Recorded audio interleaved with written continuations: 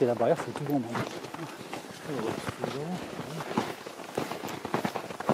Pas mal, non?